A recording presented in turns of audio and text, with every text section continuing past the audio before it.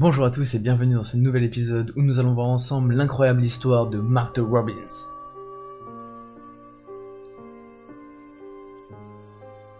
Martha Robin est née dans un petit village de la Drôme, et c'est à l'âge de seulement 16 ans qu'elle tombera dans un coma. À la suite de ce coma, elle développera une encéphalite, une longue maladie et très douloureuse qui ne la quittera plus jusqu'à sa mort. Cette encéphalite va se transformer en plusieurs infections qui seront encore plus douloureuses. Ces infections vont la paralyser progressivement, l'empêchant de bouger tous ses membres. L'un des médecins qui a étudié le dossier ira même jusqu'à dire qu'elle a atteint les limites de ce que pouvait atteindre le corps en matière de souffrance. Mais en réalité, c'est à partir du moment où elle va être paralysée que le mystère commence. En plus de toutes ces infections, elle va atteindre d'une autre maladie, dite la dinédite. Une maladie qui affecterait les capacités de déglutir et qui empêcherait une personne de boire et manger.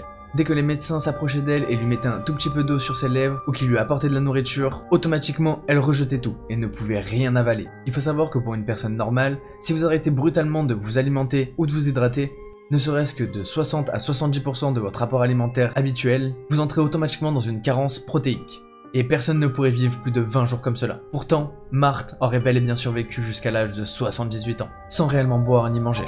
Fervente chrétienne, la seule nourriture qu'elle arrivait à avaler était un hostie consacré une fois par semaine. Pour elle, sa vie était liée à celle du Christ, et elle était vouée à ressentir les douleurs qu'il avait subies. Quelques mois plus tard, après l'apparition de cette maladie, d'étranges cicatrices vont apparaître mystérieusement sur son corps, et elle ira même jusqu'à pleurer du sang à de nombreuses reprises. Enfermée dans sa chambre, Marthe Robbins aurait vécu son destin dans une énorme et étrange discrétion. Et il existe très peu de témoins sur cette histoire. En revanche, avant sa mort, ce seront plus de 500 000 personnes qui auront fait un pèlerinage pour aller la voir. Lors de ses obsèques en 1980, ce seront plus de 8000 personnes qui assisteront à ses funérailles, dont 200 prêtres et 5 évêques. Encore aujourd'hui, personne n'a réussi à réellement expliquer comment elle avait réussi à survivre en ne s'alimentant que d'un seul hostie pendant plus de 50 ans. Et depuis, il n'y a jamais eu une autre personne comme Martin Robbins.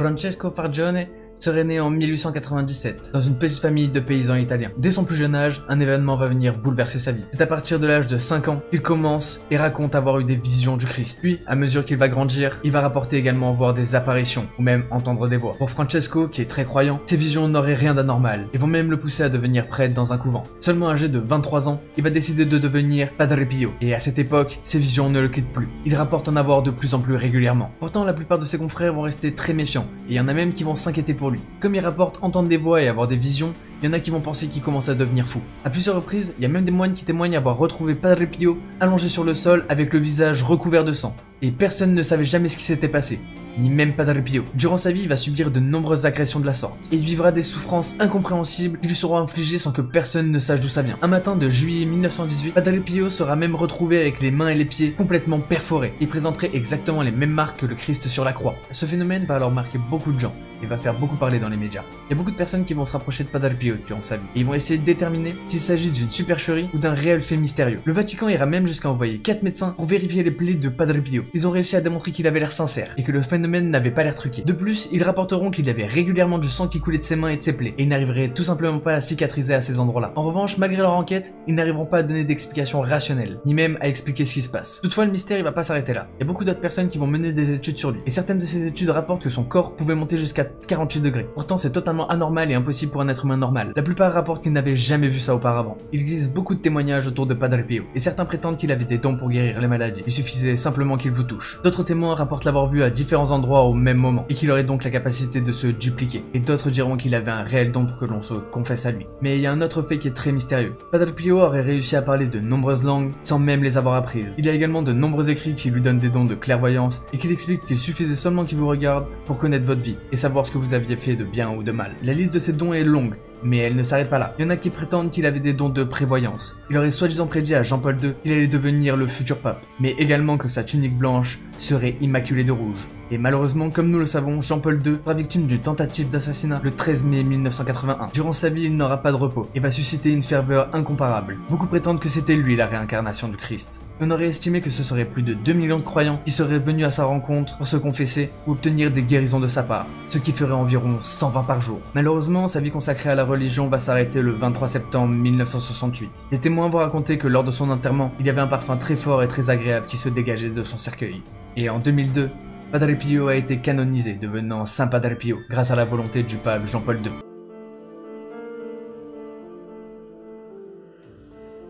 Cette histoire se passe dans les années 40 aux États-Unis.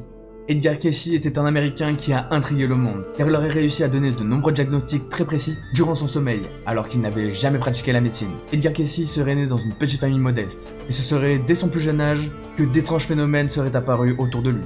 Ses parents prétendent que lorsqu'il était jeune, il était capable d'apprendre des livres par cœur, simplement en les mettant sous son oreiller juste avant de dormir. Et le lendemain matin, lorsqu'il se levait, il était capable de vous les réciter par cœur, alors qu'il ne les avait même pas lus. En grandissant, ça va être un adolescent réservé. Il ne va pas avoir beaucoup d'amis, les gens le trouvaient plutôt étrange. Et toujours dans les phénomènes mystérieux, à l'âge de 23 ans et sans vraiment d'explication, il va devenir tout simplement muet. Il ne sera donc plus en capacité de parler. À l'époque, sa famille est très modeste et elle va plutôt se tourner vers des médecines non traditionnelles et parallèles.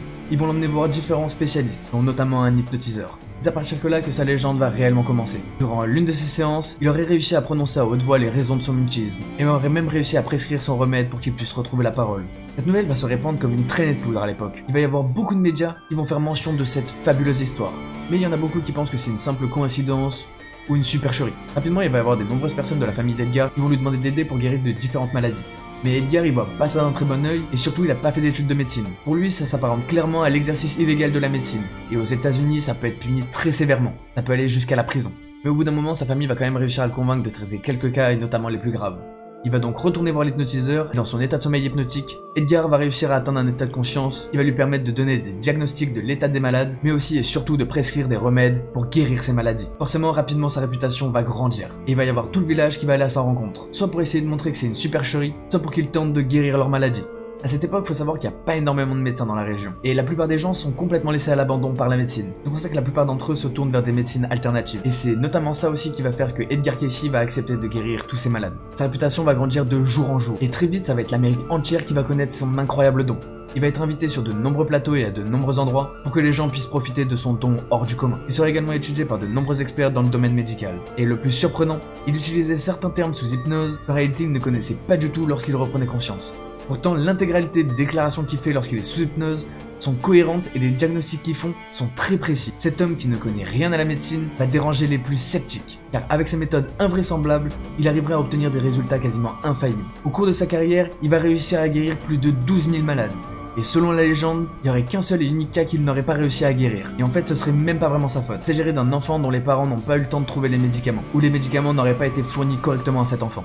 Quoi qu'il en soit, il aura intrigué pendant de nombreuses années toutes les personnes qui l'ont étudié, et personne n'arrivera à expliquer s'il s'agissait d'un don naturel ou de facultés psychiques extraordinaires. Aujourd'hui, son cas a fait couler beaucoup d'encre, mais il faudra sûrement encore beaucoup de temps avant que nous ayons une réponse pour expliquer ce genre de don. Et voilà, c'est déjà la fin de cet épisode, j'espère que ça vous aura plu, n'hésitez vraiment pas à me le dire dans les commentaires, et si vous avez d'autres sujets comme ça que vous voulez que je traite dans mes prochaines vidéos, si vous êtes intéressé par les mythes et légendes, vous pouvez trouver plein d'épisodes sur ma chaîne, bien évidemment vous pouvez toujours liker, partager et vous abonner, et on se retrouve dans une prochaine vidéo, c'était Kiko Fire, peace out